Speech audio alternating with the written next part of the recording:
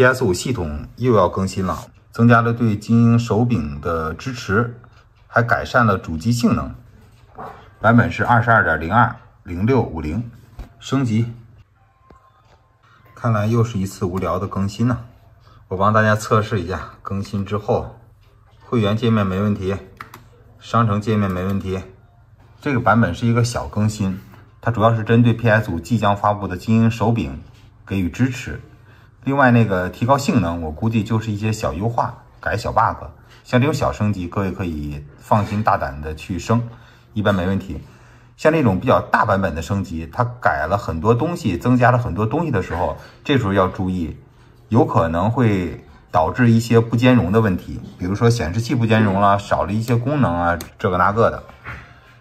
如果是大版本的更新，建议还是多等等，等到它那个大版本后续又出小版本的时候再更新，这样一般都会修复很多 bug。那这个更新呢，算是二零二三年的第一次小更新。那个手柄会在今年的一月二十六号发布。以上就是全部内容，给各位参考。